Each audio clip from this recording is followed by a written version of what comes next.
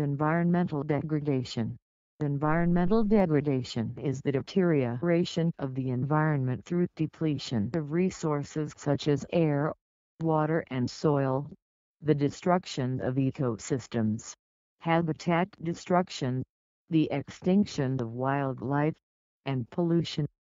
It is defined as any change or disturbance to the environment perceived to be deleterious or undesirable.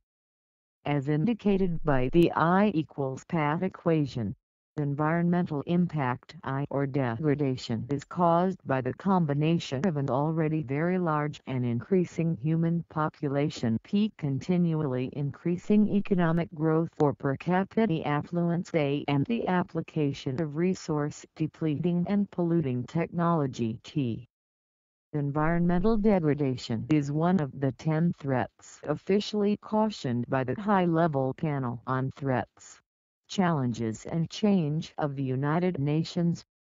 The United Nations International Strategy for Disaster Reduction defines environmental degradation as the reduction of the capacity of the environment to meet social and ecological objectives and needs.